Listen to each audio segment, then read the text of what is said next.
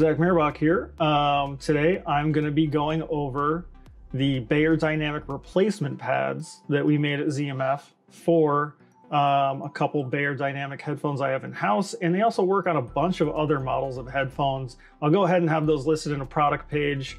Um, and yeah, so let's get going. And you can see here that I've got the uh, DT990 Pro. I already have the ZMF pads on these and got the uh, pads off those.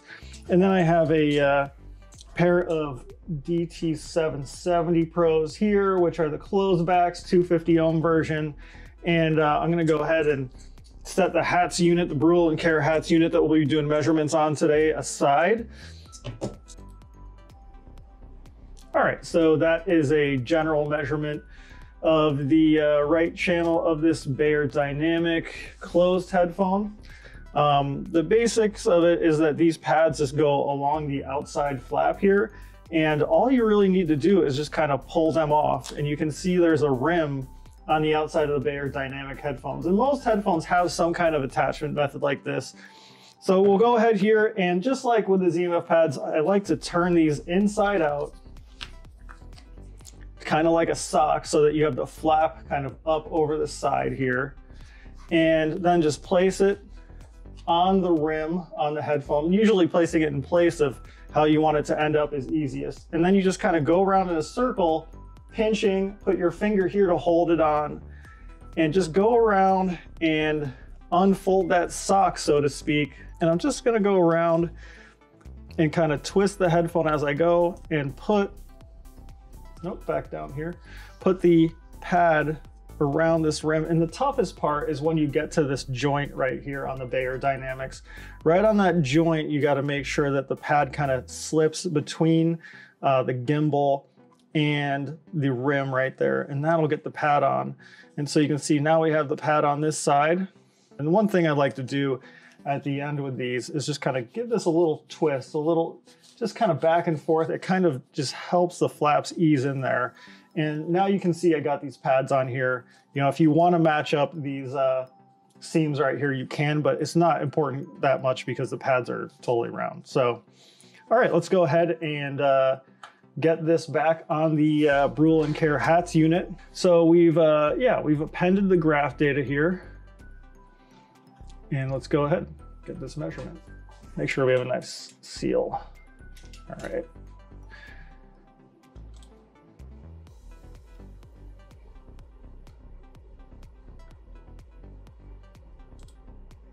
All right, so you can see the uh, measurement is pretty similar, but uh, you know, boosted the bass up quite a bit. And you know, the stock pads are great, but you know, with these, we're going for something a little different, a little more bass boost.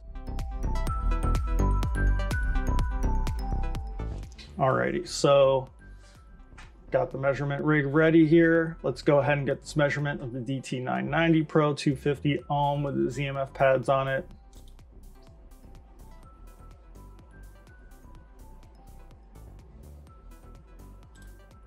All right, so let's get rid of.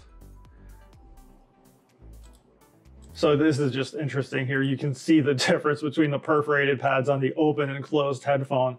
Obviously, these perforated pads are much more suited uh, to the open headphone than the closed. Uh, this is going to be a rather nice headphone to listen to, while this one probably won't be. And then we can just compare uh, you know, the 770 closed with the 990 open with the ZMF pads. And so you get, you know, two kind of quite different frequency responses.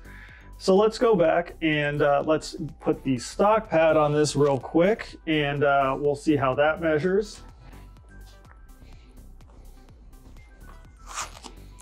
And same thing, if you're going back to stock pads, you know, there's not as much a flap on here, so you can kind of go ahead and kind of snake this around on the headphone um, and kind of pull outward because it's it's just kind of a different flap design. The ZMF flap design will allow use on more variety of headphones um, than a smaller flap like this, and that's kind of why we do it. Um, and so that's just kind of the differences between the attachment flaps on these two. Get this stock pad measurement versus the ZMF pad. And here we go.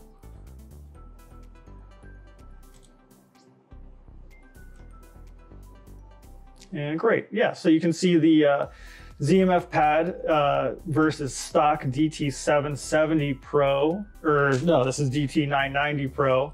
So you can see the stock pad um, DT990 Pro 250 ohm open Beyerdynamic headphone. Um, the ZMF pad is the green, and then the stock pads are the red. So you get just a touch more bass, and it just makes it overall into a slightly warmer headphone. I've really enjoyed using this uh, with the ZMF pads. I've used it a lot with video recording and stuff. And uh, yeah, I think you guys are uh, really going to enjoy it. And, you know, I put a lot of effort into these pads. We made like three or four iterations of them. And uh, this is the one I liked the most. I mean, I think the most defining characteristic of it is uh, with the, the opening here being quite a bit bigger, um, you know, not velour. It really moves the ear away from the driver a little bit, gives you a pretty like more open cavity and the headphone um, just feels, you know, pretty open as you put it on. I mean, you put these headphones on and your ear has quite a bit of space to move around. So I think aside from, you know, the sonic stuff we just went over there, that just wearing them is going to be, uh, you know, feel really nice. And I think you'll really enjoy the ZMF pads. So yeah, these are a uh, Grado headphone. Um, I don't know exactly what vintage, but the original GS1000 uh, that I got on uh, eBay. And uh, yeah, so we went and laser cut it and used a bunch of different kinds of foam and just found that this quarter inch thick foam works really well as a laser cut unit. And all you're gonna wanna do is take your original Grado pads off. Unfortunately, I do not have the original pads for this headphone and uh, you'll take the foam and you're just gonna go ahead and just kind of stretch it over the outside of the rim of the Grado and it kind of fits right behind the front panel there. You can kind of see a little closer here from this angle. So the driver's just gonna stick out just a little bit. And then you'll take your uh, Beyerdynamic pad or any other pad you want. I like the Beyerdynamic ones and turn it inside out like you would any uh, normal pad swap. And we're just gonna go ahead and put the outer flap, you can see here, over this pad right there. And the Beyerdynamic pads are totally round, so you can just kind of spin them how you want.